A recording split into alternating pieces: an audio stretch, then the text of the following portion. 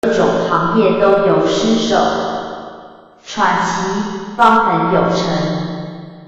但现世之人，有者太过现实，学艺不精，便迷失门，赚钱第一。对，以前教会老师忘恩负义，学道者没标新立异，好为人师，种种名。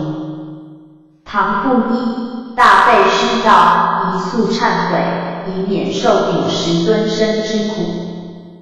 扬声，请问。